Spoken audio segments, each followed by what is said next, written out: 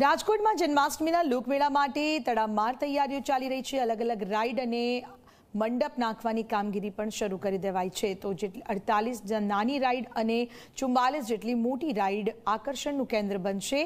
પાંચ સપ્ટેમ્બરથી નવ સપ્ટેમ્બર સુધી લોકમેળો ચાલશે. મુખ્યમંત્રી ભૂપેન્દ્ર પટેલ પાંચ સપ્ટેમ્બરે લોકમેળો ખુલ્લો મૂકશે.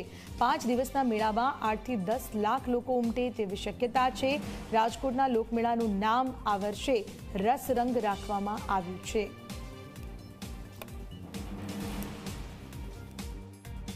રાજકોટના રેસકોર્સ ગ્રાઉન્ડ ખાતે સૌરાષ્ટ્રનો સૌથી મોટો લોકમેળો છે, તે યોજવામાં આવશે. હું તમને દ્રશ્યો બતાવવાના પ્રયાસ કરીશ કે જે રાજકોટનું રેસકોર્સ ગ્રાઉન્ડ છે, ત્યાં લોકમેળાને જે તૈયારીઓ છે તે શરૂ કરી દેવામાં આવી છે. આ વર્ષનો જે લોકમેળો છે, તેનું જે નામ છે તે રસરંગ રાખવામાં આવ્યું છે અને પાંચ સપ્ટેમ્બરથી લઈ નવ સપ્ટેમ્બર સુધી આ પાંચ દિવસીય લોકમેળો યોજવામાં આવશે. મુખ્યમંત્રી ભૂપેન્દ્રભાઈ પટેલના હસ્તે પાંચ સપ્ટેમ્બરના રોજ આ લોકમેળો છે તેને ખુલ્લો મૂકવામાં આવશે. આ પાંચ દિવસીય લોકમેળામાં સૌરાષ્ટ્રના અંદાજે આઠથી દસ લાખ લોકો આવતા હોય છે. સૌરાષ્ટ્રના આજુબાજુના ગ્રામ્ય વિસ્તાર તેમજ અલગ અલગ જિલ્લાના લોકો છે તે આ મેળામાં આવતા હોય છે. રાજકોટનો આ જે સૌથી મોટો સૌરાષ્ટ્રનો લોકમેળો છે તે આકર્ષણનું કેન્દ્ર હોય છે. આ જે લોકમેળો છે તેમાં અડતાલીસ જેટલી નાની રાઇડ્સ મૂકવામાં આવશે અને ચુમ્માલીસ જેટલી મોટી રાઇડ્સ મૂકવામાં આવશે. એ ઉપરાંત ત્રણસો જેટલા સ્ટોલ છે તે પણ ઊભા કરવામાં આવશે. નાસ્તાથી લઈ ખાણીપીણીના અલગ અલગ જે સ્ટોલો છે તેના ઊભા કરવામાં આવશે.